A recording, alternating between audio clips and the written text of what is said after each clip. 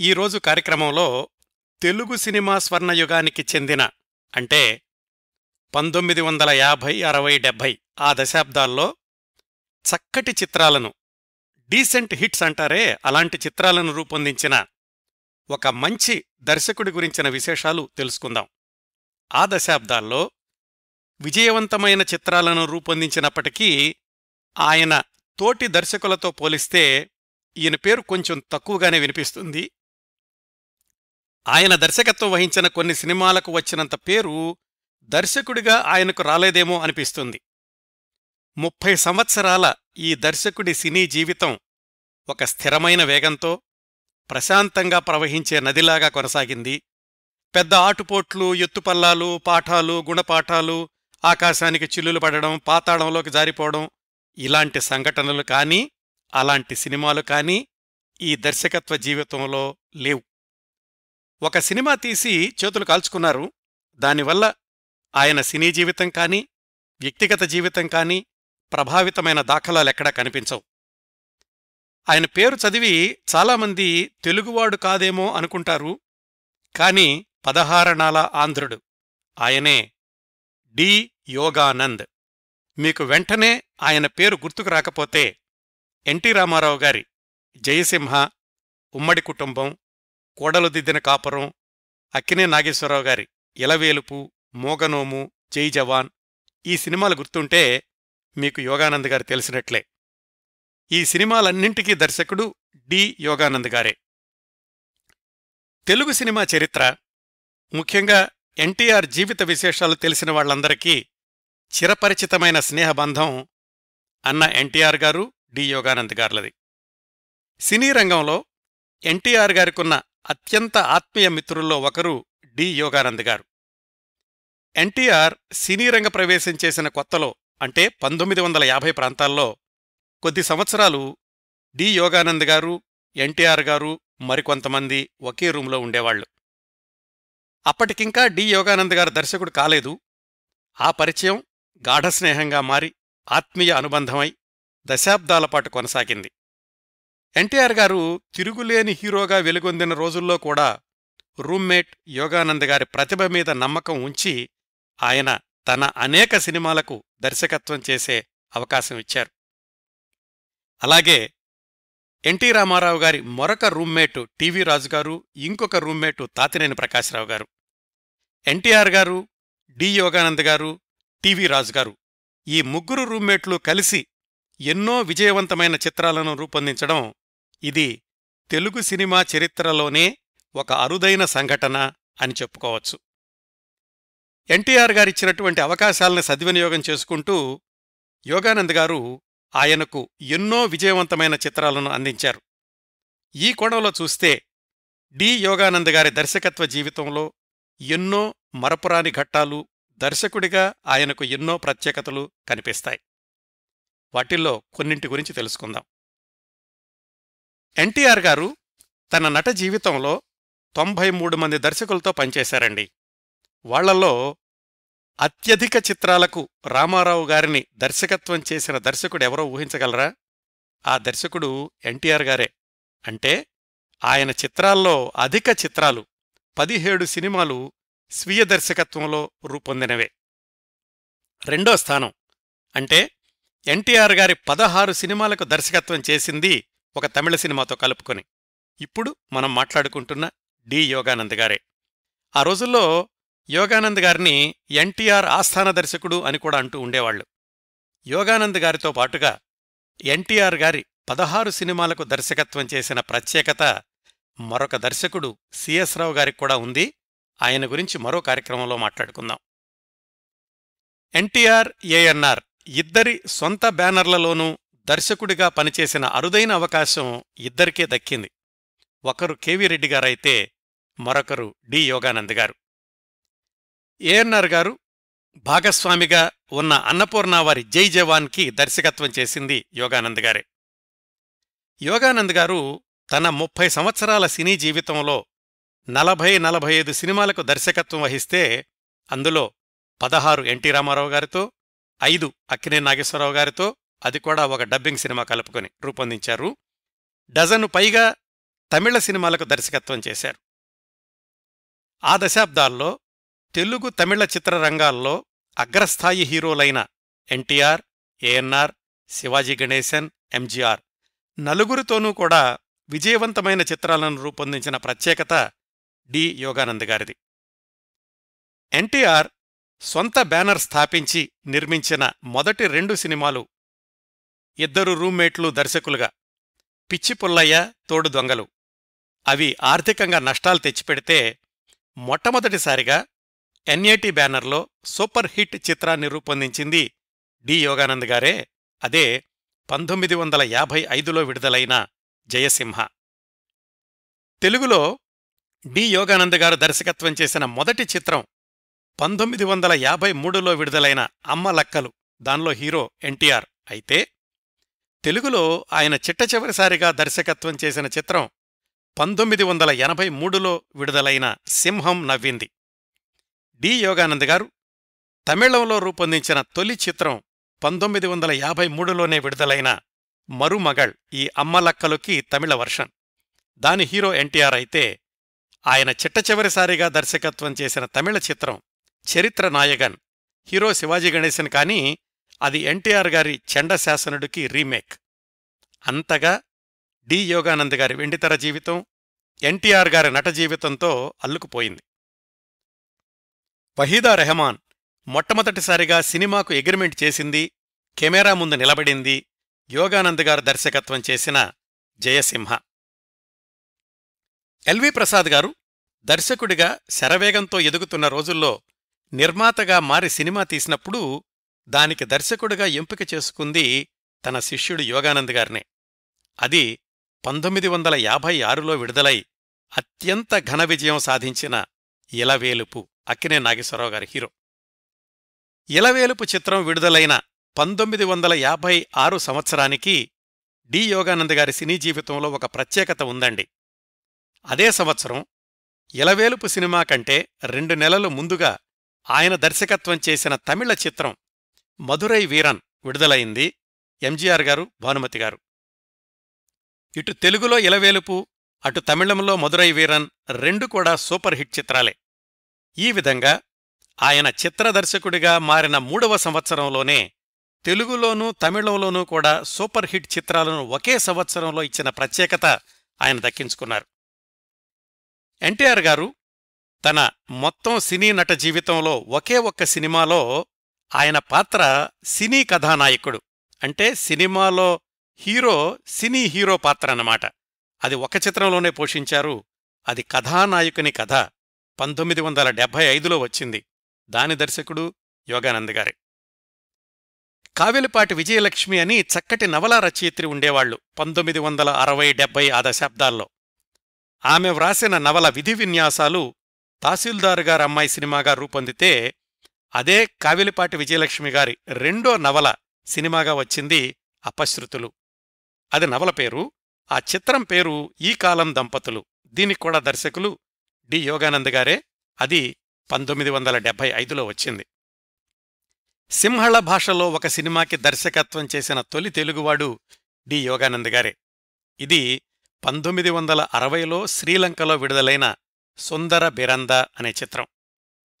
D. Yoganand గారి సినీ జీవితంలో నిర్మాతగా కూడా మారి నిర్మించిన ఒకే ఒక చిత్రం పంతొమ్మిది వందల అరవై ఎనిమిదిలో విడుదలైన బాగ్దాద్ గజదొంగ ఎన్టీఆర్ జయలలిత హీరో హీరోయిన్లు. ఇంకొక టిట్ బిట్ ఏమిటంటే యోగానంద్ గారి గురించి ఆయన చిన్నతనంలో అంటే తనకు ఐదు సంవత్సరాల వయసు నుంచి పదిహేను సంవత్సరాల వయసు వచ్చే వరకు బందర్లోనే పెరిగారు. ఆ విధంగా ఆయనకు కూడా బందర్తో సంబంధం ఉందన్నమాట. ఇన్ని ప్రత్యేకతలున్నాయండి డి. యోగానంద్ గారికి. మరొక్క రెండు అంశాలు చెప్పి యోగానంద్ గారి జీవిత విశేషాల్లోకి వెళదాం. యోగానంద్ గారి గురించి అక్కినే నాగేశ్వరరావు గారు తన నేను నా దర్శకులు అనే వ్యాసాల్లో ఇలా చెప్పారు. ఎల్వి ప్రసాద్ గారితో అనేక చిత్రాలకు సహాయ సహకార దర్శకుడిగా పనిచేసి ప్రసాద్ గారిలో ఉన్న కథా విధాన ధోరణి డ్రామాని పండించడం మొదలైన లక్షణాలు సంతరించుకున్న దర్శకుడు యోగానంద్ గారు. ఆయనది ప్రత్యేకమైన శైలి అని చెప్పలేను కాని కథ సన్నివేశాలు చిత్రీకరణ సామర్థ్యం కలవారు అని అక్కినేని గారు కితాబు ఇచ్చారు. ఇంకొక విశేషం. యోగానంద్ గారు దర్శకుడైనటువంటి తొలి రోజుల్లో అంటే పంతొమ్మిది వందల యాభై నాలుగు మే నెలలో వచ్చిన కినిమా అనే చక్రపాణి గారి సినిమా మాసపత్రికలో అప్పటికి కేవలం ఒక్క సినిమాకు మాత్రమే దర్శకత్వం చేసిన యోగానంద్ గారి వ్యవహార శైలిని విశ్లేషిస్తూ ఆయన భవిష్యత్తుని ఊహిస్తూ వ్రాసిన కొన్ని వార్తలు యథాతథంగా చదువుతాను. ఇది పంతొమ్మిది వందల యాభై నాలుగు మేలో వ్రాసిందండి ఇప్పటికీ ఆయన సినిమా రంగంలో అడుగుపెట్టి దాదాపు ఒక పుష్కరం అయ్యింది. పైకి రావడానికి అవసరమైన దారిని కష్టపడి తానే నిర్మించుకుంటూ పైకి వచ్చినవాడు యోగానంద్. యోగానంద్ చురుకైనవాడు నిరాడంబరుడు యువకుడు. చిన్నప్పుడు అల్లరి చేసినప్పటికీ ఆ అల్లరంతా కూడా సాత్విక రూపంలో పట్టుదలగా పరిణమించి ఉండవచ్చు. షీరో సిద్ధాంతం ప్రకారం ఏప్రిల్ మాసం మధ్యలో పుట్టిన యోగానంద్కు అసాధారణమైన కార్యదీక్ష పెద్ద ఎత్తున సాగే వ్యవహారాలు నడిపే దక్షత ఉండాలి. ఈ తరుణంలో పుట్టినవాడు స్వతంత్రజీవిగా ఉంటాడు. అనురాగం సానుభూతి అధికంగా ఆశిస్తాడు. ఆలోచనలోనూ ఆచరణలోనూ చురుకుదనం ఉంటుంది. అయితే ఈ జాతకులు బెత్తని మనసు గలవారు కావడం వల్ల నష్టపడతారు. అదీగాక వీళ్ళల్లో చురుకుదనంలో ఒక పాలు అజాగ్రత్త కూడా ఉంటుందట. యోగానందులో అదృష్టవశాత్తు అజాగ్రత్త కనపడదు. ముఖ్యంగా ఈ రోజులలో అంటే పంతొమ్మిది వందల యాభై నాలుగులోనండి. అపజయం అన్నదానికి ఎడంగా నిలబడడం ఎంతో ప్రజ్ఞతో కూడుకున్న పని. ఇప్పటి వరకు యోగానంద్ దాని ఛాయ తనపై పడకుండా తప్పుకుంటున్నాడు. ఇక ముందు కూడా ఇదే విధంగా జాగ్రత్త పడినట్లయితే కాలక్రమాన ఇతను మన ఉత్తమ దర్శకుల జాబితాలో చేరగలడు అనడానికి ఎటువంటి సందేహమూ లేదు. ఇదండి అప్పట్లో వచ్చినటువంటి వ్యాసం. ఆ వ్యాస రచయిత అంచనాలు అక్షరాల నిజమై ఆ తరువాతి దశాబ్దాల్లో విజయవంతమైన చిత్రాలు రూపొందించి విజయవంతమైన దర్శకుల జాబితాలో చేరిన యోగానంద్ గారి జీవిత విశేషాలు తెలుసుకోవడానికి మనం మద్రాసు నుంచే బయలుదేరాలి. యోగానంద్ గారు పుట్టిన తేదీ పంతొమ్మిది వందల ఇరవై రెండు ఏప్రిల్ పదహారు. ఆయన మద్రాసులోనే పుట్టారు. మద్రాసులో ఆ సంవత్సరాల్లో ఒక నవాబు గారు ఉండేవారు. ఆయన పేరు రజా ఆలీఖాన్ బహదూర్. ఆయన్ని బందరు నవాబు అని కూడా అంటూ ఉండేవాళ్ళు ఆయన ఎస్టేటుకి మేనేజర్గా పనిచేస్తూ ఉండేవాళ్ళు యోగానంద్ గారి నాన్నగారు వెంకటదాసు గారు. యోగానంద్ గారి అమ్మగారి పేరు లక్ష్మీబాయి గారు.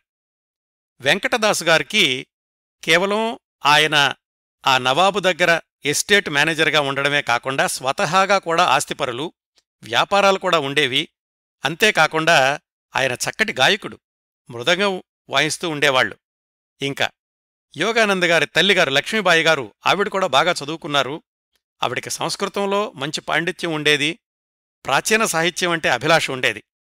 ఆమె కొంతకాలం బాపట్లలోనూ గుంటూరులోనూ టీచర్గా పనిచేసి యోగానంద్ గారు పుట్టడానికి ముందే మద్రాసు చేరారు. అక్కడ వెంకటదాస్ గారితోటి వివాహం అయ్యింది. వాళ్ళ సంతానమే మనం మాట్లాడుకుంటున్న యోగానంద్ గారు. పంతొమ్మిది వందల యాభై నాలుగు సంవత్సరానికి వాళ్ళకి మిగిలినటువంటి సంతానం ఇద్దరు మగపిల్లలు ఒక ఆడపిల్ల. ఆ మగపిల్లల్లో పెద్ద ఆయన పేరు కోటేశ్వరరావు. తర్వాత రోజుల్లో ఆయన భరణి స్టూడియోలో రికార్డిస్టుగా చేరారు. ఆయన భరణి కోటేశ్వరరావు అని కూడా అంటూ ఉండేవాళ్ళు ఆ రెండో అబ్బాయి ఇదిగో మనం మాట్లాడుకుంటున్న డి. యోగానంద్ గారు. చిన్నతనంలో ఆయన బాగా అల్లరి చేస్తూ ఉండేవాడట. ఎవరూ పట్టుకోలేకపోయేవాళ్ళు ఎవరి మాట వినేవాడు కాదు. దురదృష్టవశాత్తు ఆయనకు ఐదవ సంవత్సరం జరుగుతూ ఉండగానే వాళ్ళ అమ్మగారు మరణించారు. ఇంక వాళ్ళ నాన్నగారికి అందరి పిల్లల్ని చూసుకోవడం కష్టంగా అనిపించి వాళ్ళకి దగ్గర బంధువైన డి. సుబ్బయ్య గారు ఆయన బందరుకు చెందిన ఆయన. ఆయనకు పెంపుకి ఇచ్చారు డి. యోగానంద్ గారిని. అలా డి. యోగానంద్ తన ఐదు సంవత్సరాల వయసులో పెంపుడు తండ్రి దగ్గరకు బందరు వెళ్ళారు అక్కడ పదేళ్ళు ఉన్నారు. అంటే ఆయనకు పదిహేనవ సంవత్సరం వచ్చే వరకు బందర్లోనే చదువుకున్నారు. ఆ డి సుబ్బయ్య గారికి బందర్లో గడియారాల వర్తకం ఫోటోగ్రఫీ వ్యాపారం ఉండేది. ఆ రెండింటిలోనూ యోగానంద్ గారిని బాగా ఆకర్షించింది ఫోటోగ్రఫీ. పెంపుడు తండ్రి దగ్గర నుంచి ఫోటోలు తీయడంలో చక్కటి అనుభవం సంపాదించారు అంత చిన్న వయసులోనే.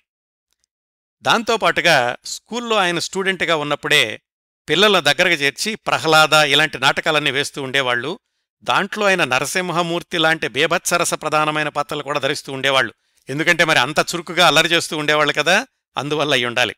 అలా నాటకాలు వేసే రోజుల్లో ఆ తర్వాత రోజుల్లో ప్రముఖ నటులైన తుంగల చలపతిరావు ఎడవలి నాగేశ్వరరావు ఇలాంటి వాళ్ళతో పరిచయాలు కూడా ఉండేది. అట్లా ఆయన ఎస్ఎస్ఎల్సి వరకు చదువుకున్నారు బందర్లోనూ.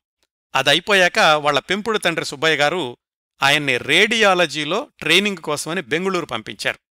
అక్కడ రెండు సంవత్సరాల ట్రైనింగ్ అయ్యాక మళ్ళా బందర్ కంటే కూడా తన సొంత తండ్రి దగ్గరికి మద్రాసు చేరుకున్నారు. అప్పటికి కాస్త లోకమంతా తెలిసిద్ది చిన్నప్పట్లో ఉన్నటువంటి అల్లరి అలాంటిదేమి లేదు అందుకని మళ్ళీ కన్న తండ్రి దగ్గరికి చేరుకున్నారు పంతొమ్మిది వందల ముప్పై తొమ్మిదిలో. రాగానే వాళ్ళ నాన్నగారు చెప్పారు ఉద్యోగం చేయాల్సిన అవసరం ఏమీ లేదు శుభ్రంగా మన వ్యాపారాలన్నీ ఉన్నాయి కదా ఇవి చూసుకో అని. అందుకని ఉద్యోగాల వైపు వెళ్ళలేదు ఆయన. కానీ ఆయన పెంపుడు తండ్రి దగ్గర నేర్చుకున్నటువంటి ఫోటోగ్రఫీ ఆయన వెంటాడుతూనే ఉంది. ఆ పంతొమ్మిది వందల ముప్పై తొమ్మిది నలభై ప్రాంతాల్లోనే జెమినీ స్టూడియో ప్రారంభిస్తూ వాళ్ళు స్టిల్ కెమెరామ్యాన్ కావాలి అని పేపర్లో వేయడమో ఎవరితో కబురు పంపించడం ఏదో జరిగింది. దాంట్లో చేరదామనుకున్నారు డి. యోగానంద్ గారు. కాని వాళ్ళ నాన్నగారు చెప్పారు ఇప్పుడు నువ్వు అక్కడికెళ్ళి ఎవరి దగ్గర ఉద్యోగం చేయాల్సినంత అవసరం ఏముంది? మన వ్యాపారాలున్నాయి మన ఆస్తులున్నాయి ఇవే చూసుకో అని చెప్పి ఆయన నిరుత్సాహపరిచారు. పద్దెనిమిదేళ్ళ వయసు నాన్నగారికి ఎదురు చెప్పలేరు అందుకని చెప్పి ఆ జెమినీ స్టూడియోలో చేరడానికి వచ్చినటువంటి అవకాశాన్ని వదులుకున్నారు. ఆయన తండ్రిగారి వ్యాపారాలనే కొనసాగిస్తూ ఉన్నారు.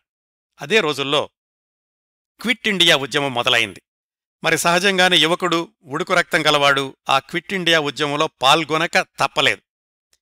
ఆ క్విట్ ఇండియా ఉద్యమంలో పాల్గొన్నప్పుడు ఆయనకి రాజాజీ గారు టంగుటూరు ప్రకాశం గారు బులుసు సాంబమూర్తి గారు ఇలాంటి వాళ్ళందరితో కూడా పరిచయం ఏర్పడింది. ఈయన చిన్నవాడే వాళ్ళు చాలా పెద్దవాళ్ళు వాళ్ళు పెద్దవాళ్ళైనప్పటికీ కూడా ఇలాంటి యువకుల్ని ప్రోత్సహిస్తూ ఉండేవాళ్ళు అందుకని వాళ్ళకు కూడా దగ్గరయ్యాడు అంత చిన్న వయసులోనే. అంతేకాకుండా ఆయన భగత్ సింగ్ ఆత్మకథ చదివి ఔపోసన పట్టారు. అందుకని ఆ రోజుల్లో మద్రాసులో బీచ్ స్టేషన్కి తాంబరం స్టేషన్కి మధ్యలో నడిచేటటువంటి ఎలక్ట్రిక్ రైళ్ళు వాటి వైర్లు కత్తిరించడం ఇలాంటి ఉద్యమాల్లో కూడా పాల్గొన్నాడు ఆయన. అది కొంతకాలం నడిచింది. ఈలోగా వాళ్ళ నాన్నగారు చనిపోయారు. ఇంకప్పుడు ఆయన ఈ రాజకీయాల్లో కొనసాగడం కంటే కూడా తనకిష్టమైనటువంటి ఫోటోగ్రఫీలు కొనసాగిద్దామనుకుని ఈ సినిమాల్లో ఎవరి దగ్గరైనా అసిస్టెంట్ కెమెరామ్యాన్గా చేరడానికి వీలవుతుందా అని ప్రయత్నించారు. ఆ ప్రయత్నాలు ఫలించి న్యూటోన్ స్టూడియో అది జితిన్ బెనర్జీ అని అయింది. ఆయన దగ్గర అసిస్టెంట్ కెమెరామ్యాన్గా చేరాడు. అసిస్టెంట్ కెమెరామ్యాన్ పేరుకే గానీ అది అప్రెంటిస్ లాంటిది అంటే జీతం ఏమీ ఇచ్చేవాళ్ళు కాదు. జితిన్ బెనర్జీ గారితో పాటుగా పురుషోత్తం అని రెహమాన్ అని వాళ్ళ దగ్గర ఆయన అసిస్టెంట్ కెమెరామ్యాన్గా కొంతకాలం పనిచేశాడు. పంతొమ్మిది వందల నలభై మూడు చివర్లో గోడవలి రామబ్రహ్మం గారు మాయాలోకం అనే సినిమా తీస్తూ ఆయన దగ్గరున్నటువంటి ఎడిటర్ మాణిక్యం అనే ఆయనకి ఒక అసిస్టెంట్ కావాల్సొచ్చింది. ఎవరో చెప్పారు ఇలాగా న్యూటన్ స్టూడియోలో యోగానంద్ అనేటి చురుకైనటువంటి కుర్రవాడు ఉన్నాడని యోగానంద్ గారిని పిలిచారు నా దగ్గర కెమెరామ్యాన్ కాదుగాని ఎడిటింగ్ శాఖలో సహాయకుడిగా అవకాశం ఉంది వస్తావా అని తన దగ్గరికి తీసుకున్నారు. అలా మొదట్లో ఒకటి రెండు సంవత్సరాలు కెమెరా నేర్చుకుని కుడవలి రామబ్రహ్మం గారి దగ్గర మాయాలోకం చిత్రానికి ఎడిటర్ మాణిక్యం గారి దగ్గర అసిస్టెంట్గా చేరారు. వాళ్ళు జీతం ఇవ్వడం ప్రారంభించారు. యోగానంద్ గారి జీవితంలో మొట్టమొదటిసారిగా జీతం అందుకున్నటువంటి ప్రాజెక్టు ఆ మాయాలోకం చిత్రం అన్నమాట. ఆయన గొడవలి రామబ్రహ్మం గారిని ఎంతగా ఆకట్టుకున్నారంటే ఆ సినిమా షూటింగ్ జరిగి దాదాపు చివరకొస్తున్నటువంటి సమయంలో యోగానంద్ గారిని దర్శకత్వ శాఖలో కూడా అసిస్టెంట్గా తీసుకున్నారు గొడవలి రామబ్రహ్మం గారు. ఆ విధంగా మాయోలోకం చిత్రంలో ఎడిటింగ్ శాఖలోనూ అలాగే దర్శకత్వ శాఖలో కూడా అనుభవం సంపాదించుకోగలిగారు అసిస్టెంట్గా యోగానంద్ గారు. మాయాలోకం సినిమా పూర్తయింది. అప్పుడు లంక సత్యం లంక కామేశ్వరరావు గారులు యోగానంద్ గారి దగ్గరకు వచ్చి మేము తులసీదాసు అనే సినిమా తీస్తున్నాం సేలంలోనూ మాకు అసిస్టెంట్ డైరెక్టర్గా ఉందు రా అని ఆయన తీసుకెళ్ళారు. అలా వెళ్ళడం వెళ్ళడం సేలంలోనే మూడు సంవత్సరాలు ఉండిపోయారు యోగానంద్ గారు. ఆ సేలంలో నిర్మాణమైనటువంటి తెలుగు తమిళ సినిమాలకి అసోసియేట్ డైరెక్టర్గాను అసిస్టెంట్ ఎడిటర్గాను కొన్నిటికి పూర్తిస్థాయి ఎడిటర్గా కూడా పనిచేశారు. ఇదంతా మూడు సంవత్సరాలు జరిగింది. ఈలోగా భారతదేశానికి స్వాతంత్ర్యం వచ్చింది. పంతొమ్మిది వందల నలభై ఏడు చివర్లో మళ్ళీ ఆయన మద్రాసుకొచ్చి చిత్తూరు నాగయ్య గారి చిత్ర నిర్మాణ సంస్థ రేణుక ఆ సంస్థలో ఆయన స్టోరీ డిపార్ట్మెంట్లో చేరారు. చూడండి మొదటి చూసుకుంటే ఆయన కెమెరా నేర్చుకున్నారు ఎడిటింగ్ నేర్చుకున్నారు దర్శకత్వం నేర్చుకున్నారు ఎడిటింగ్ చేశారు. ఇప్పుడు స్టోరీ డిపార్ట్మెంట్లో చేరారు. అక్కడ రెండు సంవత్సరాల పాటు పనిచేశారు. పంతొమ్మిది వందల నలభై తొమ్మిదో సంవత్సరం వచ్చింది. ఇక్కడ మనం మరొక వ్యక్తిని పరిచయం చేసుకుందాం. ఆయన పేరు సివి రంగనాథ దాస్. ఆయన ఆంధ్రా ప్రాంతం నుంచి మద్రాసుకొచ్చి సినిమా తీద్దామని సాధనా ఫిలిమ్స్ అనే చిత్ర నిర్మాణ సంస్థను ప్రారంభించారు. ఆయన నిర్మాతగా. ఆచార్య ఆత్రేయ గారితో ఒక కథ రాయించుకున్నారు. దాని పేరు సంసారం. దానికి దర్శకుడిగా ఏం చేశారంటే ముదిగొండ లింగమూర్తి అనే సీనియర్ నటుణ్ణి నిర్ణయించుకున్నారు. ఈ ముదిగొండ లింగమూర్తి గారు ఎవరంటే బిఎన్ రెడ్డి గారికి చాలా ఆత్మీయమైనటువంటి మిత్రుడిగా ఉండేవాడు. నటుడిగా కొనసాగుతూ కూడా దాదాపుగా బిఎన్ రెడ్డి గారికి కుడి భుజం అంటూ ఉండేవాళ్ళు ఆ రోజుల్లో. సలహాదారుగాను అలాగే ప్రొడక్షన్ విషయాల్లో సహాయం చేయడం ఇలాంటివన్నీ చేస్తూ ఉండేవాళ్ళు ఆయనను దర్శకుడిగా తీసుకున్నారు ఈ సివి రంగనాథదాస్ గారు తాను తీయబోయే సంసారం అనే సినిమాకి ఇదంతా పంతొమ్మిది వందల నలభై తొమ్మిదిలో. ఆయనకు సహాయకుడు కావాల్సి వచ్చి ఈ నాగయ్య గారి దగ్గర పనిచేస్తున్నటువంటి డి యోగానంద గారిని పిలిచారు. నాగయ్య గారికి చెప్పారు ఇలా మీ దగ్గర ఉన్న కుర్రవాణ్ణి తీసుకుంటామండి మా సినిమాకి సహకార దర్శకుడు కావాలి అని ఆ విధంగా యోగానంద గారిని సంసారం చిత్రానికి సహకార దర్శకుడిగా తీసుకున్నారు దర్శకుడేమో ముదిగొండ లింగమూర్తి గారు. అయితే తర్వాత ఏమైంది? ఆ సినిమా షూటింగ్ ప్రారంభమైనటువంటి కొద్ది రోజులకో ఇంకా ప్రారంభం కాకముందో ప్రొడ్యూసర్ సివి రంగనాథదాస్ గారికి దర్శకుడైనటువంటి ముదిగొండ లింగమూర్తి గారికి ఏవో భేదాభిప్రాయాలు వచ్చాయి. దాంతోటి ముదిగొండ లింగమూర్తి గారు ఆ ప్రాజెక్ట్ నుంచి తప్పుకున్నారు. అప్పుడు సివి రంగనాథదాస్ గారు ఏం చేశారంటే అప్పట్లోనే దర్శకుడిగా శరవేగంతో ఎదుగుతున్నటువంటి ఎల్వి ప్రసాద్ గారి దగ్గరికి వెళ్ళారు మీరు దర్శకత్వం చేసి పెట్టాలి అన్నారు. సరే ఎల్వి ప్రసాద్ గారు వచ్చి ఆ కథ నచ్చలేదని చెప్పి మళ్ళీ కథ రాయించుకున్నారు సదాశివబ్రహ్మం గారితోటి. మరి ముదిగొండ లింగమూర్తి గారు తీసుకొచ్చినటువంటి యోగానంద్ గారి పరిస్థితి ఏమిటి? అంతకు ముందే ఎల్వి ప్రసాద్ గారితోటి పరిచయం ఉంది యోగానంద్ గారికి. అందుకని ముదిగొండ లింగమూర్తి గారు వెళ్ళిపోయినప్పటికీ ఎల్వి ప్రసాద్ గారు యోగానంద్ గారిని తన దగ్గర అసిస్టెంట్గా కొనసాగమన్నారు. తరువాత యోగానంద్ గారి జీవితంలో అనేక మలుపులకు కారణమయ్యింది ఎల్వి ప్రసాద్ గారి దగ్గర ఆయన అసోసియేట్గా చేరడం. అలా సంసారం సినిమా షూటింగ్ ప్రారంభమైంది. ఆ సినిమా తర్వాత చాలా ఇబ్బందుల్లో పడి మధ్యలో డబ్బులు లేక ఆ సినిమాలో హీరోయిన్గా నటిస్తున్నటువంటి లక్ష్మీరాజ్యం గారు మళ్ళీ నిర్మాతగా మారడం మొత్తానికి ఎలాగైతే ఆ సినిమా పూర్తయి పంతొమ్మిది వందల యాభై డిసెంబర్ ఇరవై తొమ్మిదిన విడుదలయ్యింది. ఇక్కడ ఒక్క నిమిషం కథలో మరొక వ్యక్తిని పరిచయం చేసుకుందాం. ఆయనే అసలైన హీరో ఎన్టీ రామారావు గారు. ఎన్టీ రామారావు గారు సినిమాల్లోకి చేరడానికి వచ్చిన కొత్తలో మద్రాసు టీ నగర్ విజయరాఘవాచారి రోడ్లో రిపబ్లిక్ గార్డెన్స్ అనేటటువంటి ఇంట్లో ఒక గదిలో అద్దెకుండేవాళ్ళు ఇల్లు అంటే అది పెద్ద బిల్డింగులాగా ఉండేదట. ప్రస్తుతం అక్కడ ఆంధ్ర క్లబ్ ఉంది. ఆ పంతొమ్మిది వందల నలభై తొమ్మిది ప్రాంతంలో ఆ రిపబ్లిక్ గార్డెన్స్ ఎలా ఉండేదంటే కింద ఒక ఆరు గదులు పైన ఒక ఆరు గదులు మొత్తం పన్నెండు గదులు ఉండేవి ఒక్కో గదిలో ఒకళ్ళో ఇద్దరో వాళ్ళ స్తోమతను బట్టి అద్దెకుంటూ ఉండేవాళ్ళు. ఎక్కువ మంది ఈ సినిమాల్లో ప్రయత్నం చేసేవాళ్ళే ఎన్టీ రామారావు గారు ఉన్నటువంటి రూములో ఆయనతో పాటుగా మరికొంతమంది కూడా ఉన్నారు. వాళ్ళల్లో ఒకరు డి. యోగానంద్ గారు మరొకరు తాతినేని ప్రకాశ్రావు గారు ఇంకొకరు టీవీ రాజు గారు. అంటే యోగానంద్ గారు దర్శకత్వ శాఖలో సహాయకుడిగా పనిచేసినటువంటి సంసారం సినిమాలో ఎన్టీ రామారావు గారు ఒక హీరో. అంటే ఇద్దరు రూమ్మేట్స్లో ఒకళ్ళు హీరో అయితే గనక ఒకళ్ళు సహకార దర్శకుడిగా పనిచేశారనమాట ఈ సంసారం చిత్రానికి. ఆ సంసారం చిత్రం విడుదలయ్యింది అత్యద్భుతమైనటువంటి విజయం సాధించింది. ఎంత విజయం అంటే ఆ సినిమా యొక్క నిర్మాత సినిమా తీసేటప్పుడు డబ్బుల కోసం ఎంత ఇబ్బంది పడ్డారో సినిమా పూర్తయ్యాక వచ్చిన ఆదాయాన్ని ఇన్కమ్ ట్యాక్స్ వాళ్ళ బారి నుంచి రక్షించుకోవడానికి అంత కష్టాలు పడ్డారట. అంత ఘన విజయం సాధించింది. ఆ సినిమాలో పనిచేసిన వాళ్ళందరికీ కూడా అద్భుతమైన పేరు తెచ్చిపెట్టింది. అయితే యోగానంద్ గారు తెర వెనుక ఉన్నటువంటి సాంకేతిక నిపుణుడు కాబట్టి ఆయనకి బహిరంగంగా ప్రచారంలో ఆయనకు పేరు రాకపోయినప్పటికీ అద్భుతమైనటువంటి అనుభవాన్ని సంపాదించుకున్నారు ఎల్వి ప్రసాద్ గారి నాయకత్వంలో.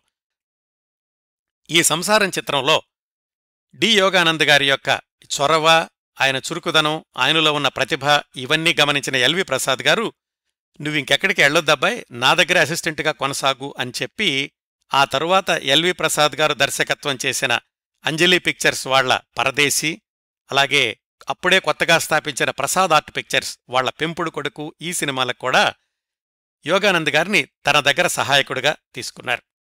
ఇదంతా పంతొమ్మిది వందల యాభై నుంచి పంతొమ్మిది వందల యాభై రెండు ఒక రెండు సంవత్సరాలు గడిచింది అనుకోవచ్చు. పంతొమ్మిది వందల యాభై రెండు మధ్యలో ఇంకా డి యోగానంద్ గారికి దర్శకుడయ్యేటటువంటి సుముహూర్తం సమీపించింది. ఆ సుముహూర్తానికి కారణం ఎస్ఎం లక్ష్మణ చెట్టియార్ అనే తమిళుడు ఈ ఎస్ఎం లక్ష్మణ చెట్టియార్ ఎవరంటే తమిళనాడులోని చెట్టినాడు ప్రాంతం నుంచి మద్రాసుకొచ్చారు. కాంట్రాక్ట్ నాటకాలు వేయిస్తూ ఉండేవాళ్ళు దాంతోపాటుగా ఆయనకి కార్లు అమ్మేటటువంటి వ్యాపారం కూడా ఉండేది. దానిలో ఆయన విభిన్నమైనటువంటి ప్రచారం చేస్తూ ఉండేవాడట. ఎలాగంటే ఆ రోజుల్లో కార్ల అమ్మకానికి సంబంధించినటువంటి కరపత్రాలు ఇలాంటివన్నీ కూడా ఇంగ్లీష్లో ఉండేవి. బ్రిటిష్ రాజ్యం కదా చాలా వరకు ఇంగ్లీష్లోనే వ్యవహారాలు జరుగుతూ ఉండేవి. అలాంటి రోజుల్లో ఈ లక్ష్మణ చెట్టియార్ ఆయన తమిళంలో కార్ల గురించి కరపత్రాలు వేసి అక్కడ ధనవంతులకి వాళ్ళకి అమ్ముతూ ఉండేవాడట. వాళ్ళందరూ కూడా మన భాషలో ఉన్న కరపత్రాలు అని ఆయన దగ్గరికి కార్లు కొనడానికి ఎక్కువగా వెళుతూ ఉండేవాళ్ళట. అంత తెలివిగలవాడు ఆ లక్ష్మణ చెట్టియారన్న ఆయన. ఆయన ఈ కాంట్రాక్ట్ నాటకాలు వేయించేటప్పుడు అప్పటి నాటకాల హీరో ఎంకే త్యాగరాజ భాగవతార్ ఈయన గురించి కూడా గత కార్యక్రమంలో మాట్లాడుకున్నాం ఆయనతోటి పరిచయం ఏర్పడింది. ఆ ఎంకే త్యాగరాజ భాగవతార్ ప్రదర్శిస్తున్నటువంటి పావలక్కోడి అనే రంగస్థల నాటకాన్ని సినిమాగా తీద్దామనుకున్నప్పుడు ఆ ఎంకే త్యాగరాజ భాగవతారు గారు తనే తీద్దామనుకున్నాడు. అప్పుడు ఈ లక్ష్మణ చెట్టియార్ వెళ్ళి మీరొక్కళ్ళే ఆ సినిమా తీయడం ఎందుకు? నష్టం వస్తే గనక చాలా కష్టమవుతుంది మీకు. మన ఇద్దరం కలిపి తీద్దాము అని ఈ లక్ష్మణ చెట్టియార్ ముందడుగు వేసి ఆయన ఒక చిత్ర నిర్మాణ సంస్థను స్థాపించి ఎంకే త్యాగరాజ భాగవతార్ గారితోటి పావలక్కోడి అనే సినిమా తీశాడు. అది సూపర్ డూపర్ హిట్ అయ్యింది. అక్కడ్నుంచి సినిమా నిర్మాణాన్ని కొనసాగిస్తూ వచ్చాడు ఈ ఎస్ఎం లక్ష్మణ చెట్టియార్. కన్నాంబ గారిని తమిళ చిత్రరంగానికి పరిచయం చేసింది కూడా ఈ లక్ష్మణ చెట్టియారే. అయితే ఇంతసేపు లక్ష్మణ చెట్టియార్ అంటున్నాను కానీ ఆయన సినీ రంగంలో ఆయనకున్నటువంటి పేరు లేనా చెట్టియార్. లక్ష్మణ చెట్టియార్ అని ఎవరూ పిలిచేవాళ్ళు కాదు. రికార్డుల్లో ఎక్కడ చూసినా కానీ లేనా చెట్టియార్ అనే ఉంటుంది. ఈ లేనా చెట్టియార్ గారు మొట్టమొదట్లో తీసిన రెండు మూడు సినిమాలను మినహాయించి తర్వాత ఆయన కృష్ణా పిక్చర్స్ అనేటటువంటి ఒక చిత్ర నిర్మాణ సంస్థను స్థాపించి ఒక పదిహేను సంవత్సరాల పాటు ఆయన తెలుగులోనూ తమిళంలోనూ కూడా చిత్రాలను నిర్మిస్తూ వచ్చారు. ఆ లీనా చెట్టియార్ గారు పంతొమ్మిది వందల యాభై రెండు ప్రాంతాల్లో. ఎల్వి ప్రసాద్ గారి దగ్గరకొచ్చి మా కృష్ణా పిక్చర్స్ తరఫున ఒక సినిమా తీద్దాం అనుకుంటున్నామండి. ఆ సినిమాకి మీరు దర్శకత్వం చేసి పెట్టాలి అని అడిగారు. ఎల్వి ప్రసాద్ గారు అప్పటికి రెండు మూడు సినిమాలతో బిజీగా ఉన్నారు.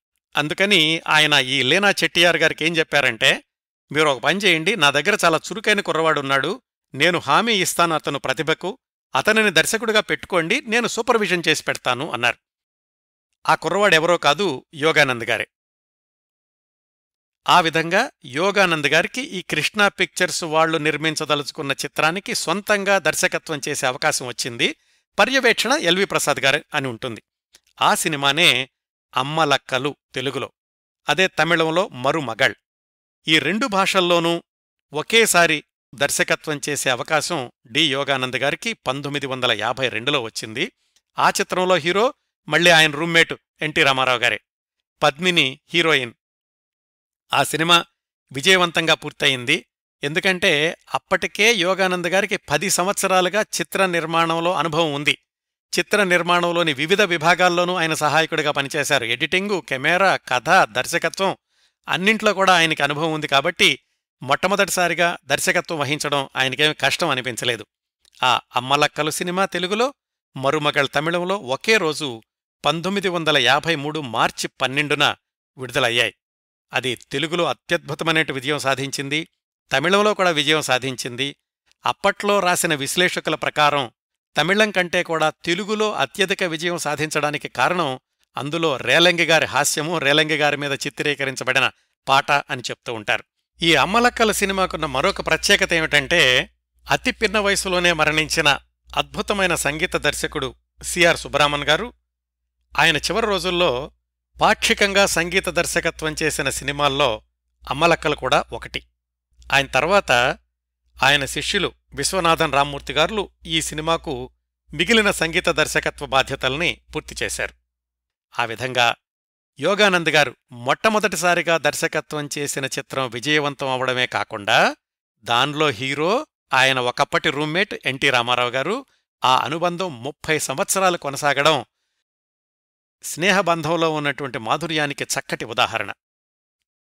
ఈ అమ్మలక్కలు విజయవంతం అయ్యాక వెంటనే ఆయనకు దర్శకత్వం చేసే అవకాశం వచ్చినటువంటి సినిమా మళ్ళీ తన రూమ్మేట్ ఎన్టీ రామారావు గారి ద్వారానే. అది ఎలా జరిగిందో తెలుసుకోవడానికి ఒకసారి మళ్ళీ ఎన్టీ రామారావు గారి దగ్గరికి వెళ్ళాలి మనం. ఎన్టీ రామారావు గారు సినిమాల్లో ప్రవేశించినటువంటి కొద్ది సంవత్సరాలకే అంటే పంతొమ్మిది వందల యాభై మూడులోనే నేషనల్ ఆర్ట్స్ బ్యానర్ అనేటటువంటి చిత్ర నిర్మాణ సంస్థను ప్రారంభించి దోనేపూడి కృష్ణమూర్తి అనే ఆయన్ని భాగస్వామిగా తీసుకుని పిచ్చి పుల్లయ్య అనే సినిమా నిర్మించారు. దానికి దర్శకుడు మళ్ళా ఆయన ఇంకొక రూమ్మేట్ తాతినేని ప్రకాశ్రావు గారు. ఆ సినిమాని విమర్శకులందరూ ప్రశంసించారు కానీ ఆర్థికంగా విజయం సాధించలేదు. నేషనల్ ఆర్ట్స్ అనేటటువంటి బ్యానర్ మరి సెంటిమెంట్గా అనుకున్నారో ఏమో ఎందుకంటే ఎన్టీ రామారావు గారి సినిమాల్లోకి రాకముందు నాటకాలు ప్రదర్శించినప్పుడు ఆయన బ్యానర్ పేరు నేషనల్ ఆర్ట్ థియేటర్స్. మొట్టమొదటి సినిమానేమో నేషనల్ ఆర్ట్స్ అని తీశారు. అందుకని ఈసారి నేషనల్ ఆర్ట్ థియేటర్స్ అనే పేరు మార్చి ఆ బ్యానర్ మీద మళ్ళీ ఆయన రెండో సినిమాకి శ్రీకారం చుట్టారు. ఆ సినిమా పేరు తోడు దొంగలు. దానికి దర్శకుడిగా మళ్ళా ఎన్టీ రామారావు గారి మరొక రూమ్మేట్ మన యోగానంద్ గారిని ఎన్నుకున్నారు.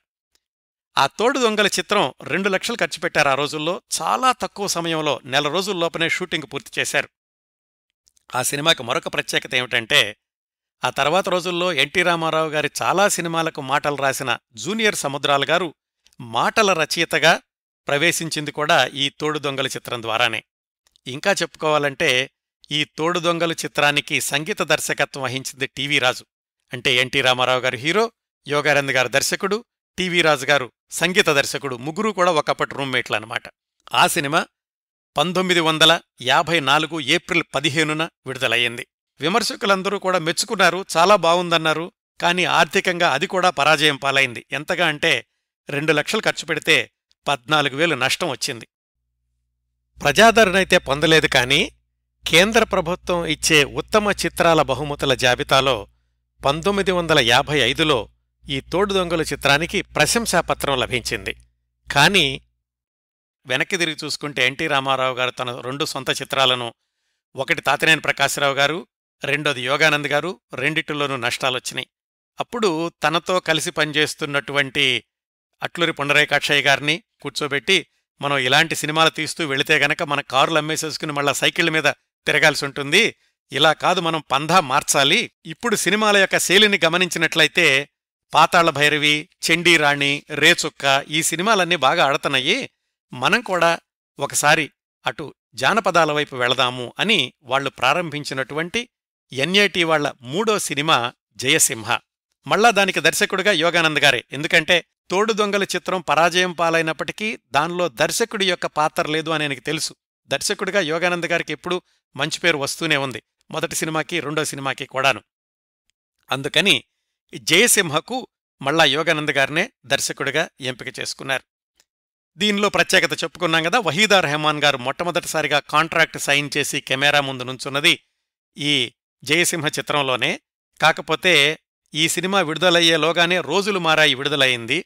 అందుకని కొంతమంది వహీదా రెహమాన్ గారి మొదటి చిత్రం రోజులు మారాయి అంటారు. అదే రోజుల్లో ఆమె విఠలాచార్య గారి కన్యాదానం అనే సినిమాలో ఒక చిన్న డాన్స్ చేశారు. కొన్ని చోట్ల కన్యాదానం మొట్టమొదటి చిత్రం కూడా అంటారు. కానీ రికార్డుల ప్రకారం చెప్పుకోవాలంటే యోగానంద్ గారు దర్శకత్వం వహించిన ఎన్టీ రామారావు గారు నిర్మించిన మూడవ చిత్రం జయసింహ. ఈ సినిమా మళ్ళీ టీవీ రాజుగారే సంగీత దర్శకత్వం. ఆ జయసింహ పంతొమ్మిది వందల యాభై ఐదు అక్టోబర్ ఇరవై ఒకటిన విడుదలయింది అది ఎంత విజయం సాధించిందో చెప్పాల్సిన పనిలేదు అప్పట్లోనే అది రజతోత్సవం చేసుకుంది. ఎన్టీ రామారావు గారి నిర్మాణ సంస్థకు మొట్టమొదటి రజతోత్సవ చిత్రాన్ని అందించింది డి. యోగానంద్ గారయ్యారు ఆ విధంగా. ఆయన మొట్టమొదటిసారిగా దర్శకత్వం వహించిన అమ్మలక్కల యొక్క చిత్ర నిర్మాణ సంస్థ కృష్ణా పిక్చర్స్ అనుకున్నాం కదా దానికి కూడా దాదాపు ఆయన ఆస్థాన దర్శకుడయ్యారు. ఆ తర్వాత పది పదిహేను సంవత్సరాల పాటు తమిళంలో కృష్ణా పిక్చర్స్ వాళ్ళు తీసిన అనేక సినిమాలకు యోగానంద్ గారే దర్శకత్వం చేశారు. అలా చూసుకుంటే ఎన్టీ రామారావు గారి సంస్థకు ఆయన ఆస్థాన దర్శకుడయ్యారు. అలాగే కృష్ణా పిక్చర్స్ వాళ్ళకు కూడా ఆయన ఆస్థాన దర్శకుడుగా కొనసాగారు. అంటే మనిషి ఎంత నమ్మకంగా ఉండేవాళ్ళు సంబంధ బాంధవ్యాలను ఎంత మంచిగా కొనసాగించేవాళ్ళు అనడానికి ఇదిగో ఆ రెండు చిత్ర నిర్మాణ సంస్థలకు కూడా ఎక్కువ సినిమాలకు యోగానంద్ గారు దర్శకత్వం వహించడమే ఒక ఉదాహరణ. జయసింహ సినిమా అయిపోయాక మళ్ళా ఎల్వి ప్రసాద్ గారు యోగానంద్ గారిని పిలిచారు.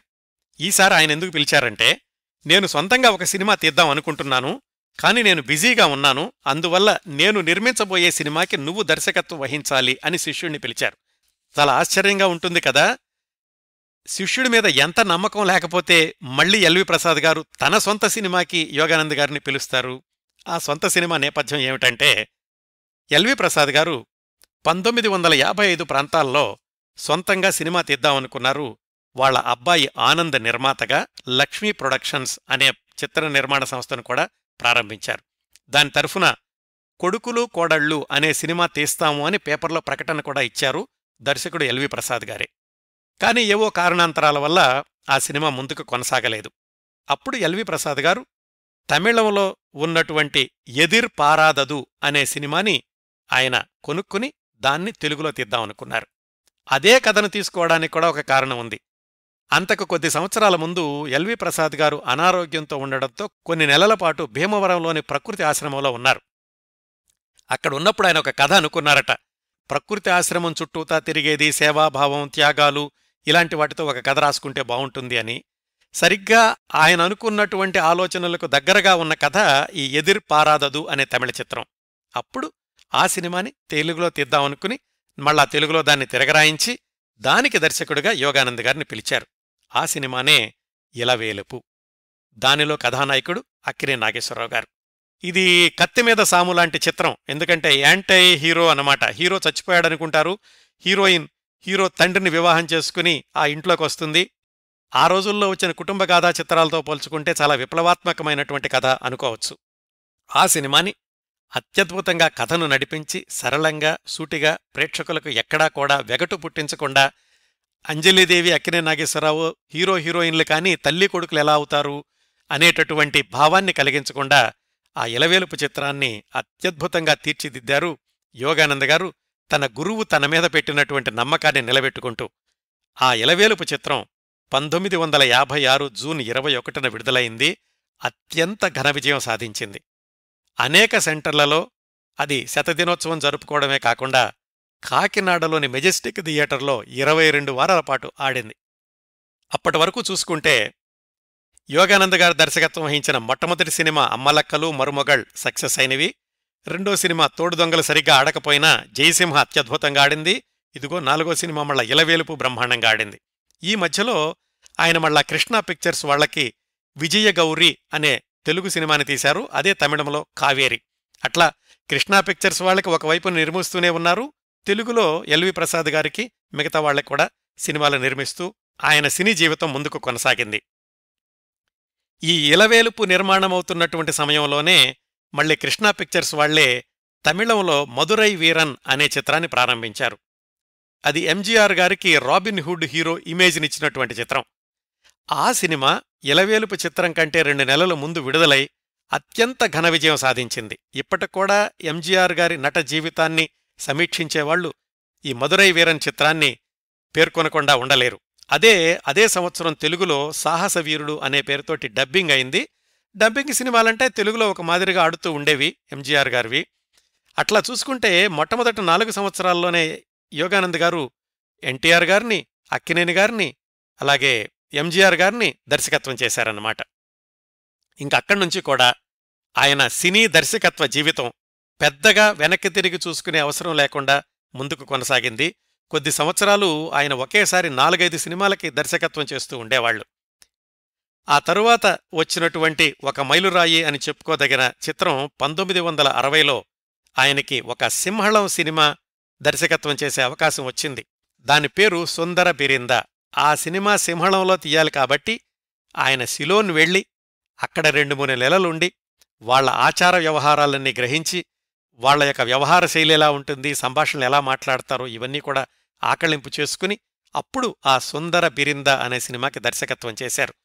ఇప్పటి కూడా సింహళ చలనచిత్ర పరిశ్రమను పేర్కొంటూ వచ్చినప్పుడు ఆ సంవత్సరంలో అంటే పంతొమ్మిది వందల అరవైలో వచ్చినటువంటి ఈ సుందర బిరింద అనే చిత్రాన్ని తప్పనిసరిగా పేర్కొంటూ ఉంటారు.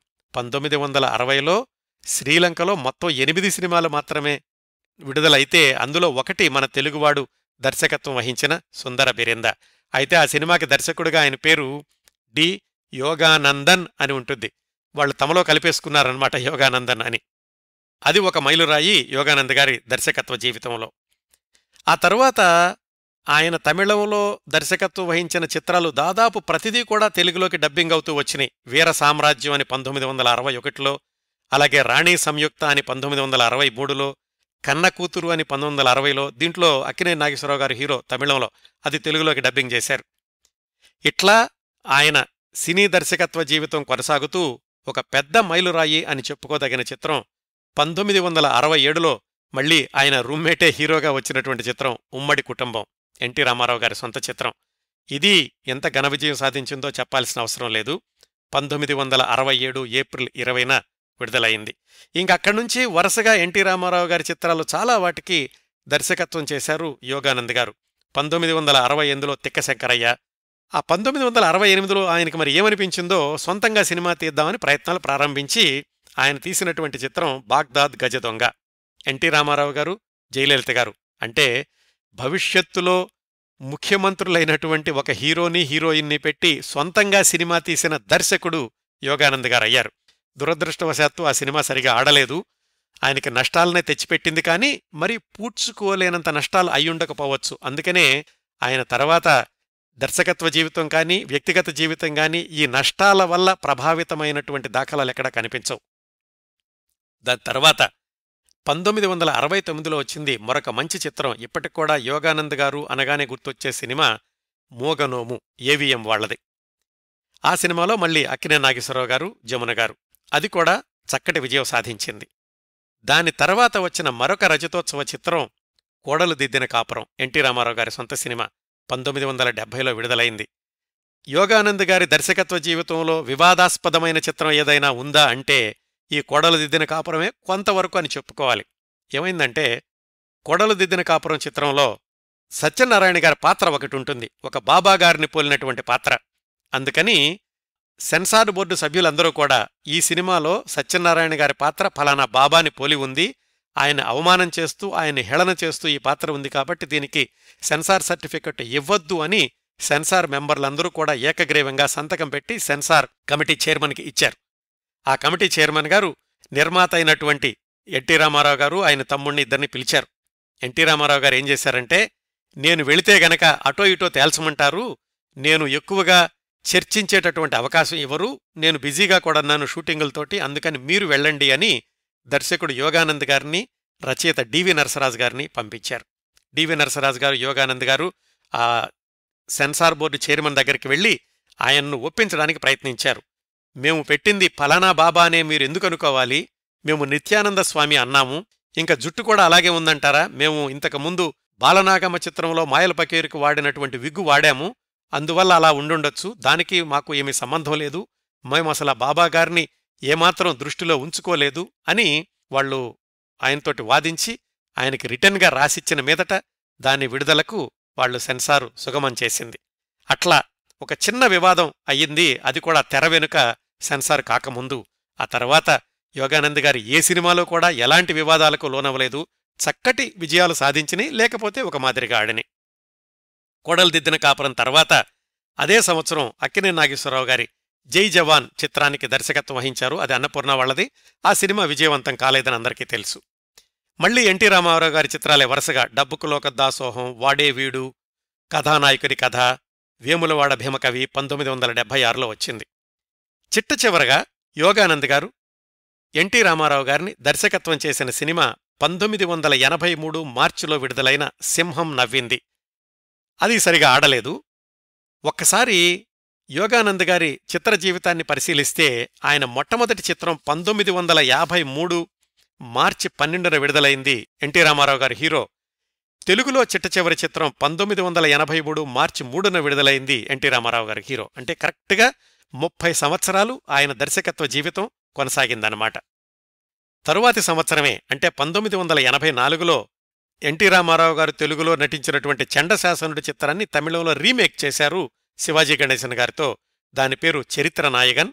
పంతొమ్మిది వందల ఎనభై నాలుగులో విడుదలైంది. అది యోగానంద్ గారు చిట్ట చివరిసారిగా దర్శకత్వం వహించిన చిత్రం తమిళ చిత్రం. దాని తర్వాత యోగానంద్ గారు మళ్ళీ ఏ సినిమాకి కూడా దర్శకత్వం వహించలేదు. ఎందుకంటే అప్పటికే సినిమాల్లో వేగం పెరిగిపోయింది. యాక్షన్ సినిమాలు వచ్చేసినాయి. అందుకని చెప్పి ఆయన నెమ్మదిగా స్వచ్ఛందంగా తెర వెనక్కు వెళ్ళిపోయారు.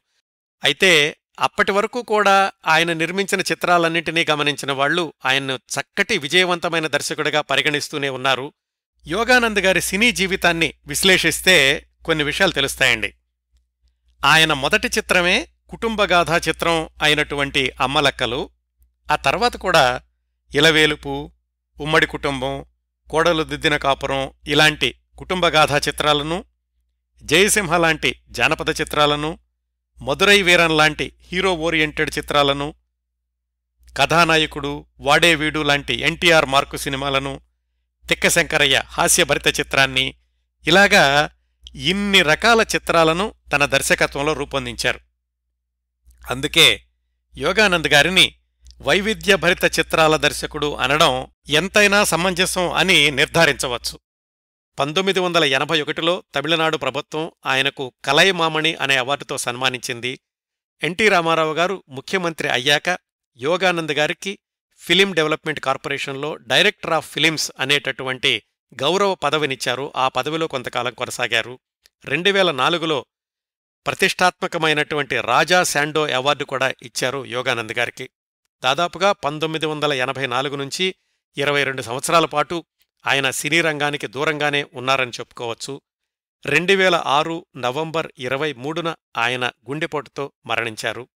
ఆయనకు ఇద్దరు అబ్బాయిలు ముగ్గురు అమ్మాయిలు ఉన్నారని భార్య పేరు హనుమాయమ్మ అని ఆయన మరణించినటువంటి వచ్చిన పత్రికా ప్రకటనలో ఉన్నాయి. వారిలో ఎవరినైనా సంప్రదించడానికి నేను చేసిన ప్రయత్నాలేమీ ఫలించలేదు. బహుశా ఈ కార్యక్రమం వింటున్న వాళ్ళు ఎవరైనా యోగానంద్ గారి కుటుంబ సభ్యులు తెలిసి ఉంటే నాకు తెలియచేస్తే భవిష్యత్ కార్యక్రమాల్లో అదనపు సమాచారాన్ని చేర్చడానికి ప్రయత్నిస్తాను. ఇవండి అలనాటి వైవిధ్యభరితమైన మంచి చిత్రాల దర్శకుడు ఎన్టీ రామారావు గారి ఒకప్పటి రూమ్మేటు ఎన్టీ రామారావు గారి ఆంతరింగక మిత్రుడు డి యోగానంద్ గారి గురించి నేను సేకరించగలిగినంత సమాచారం.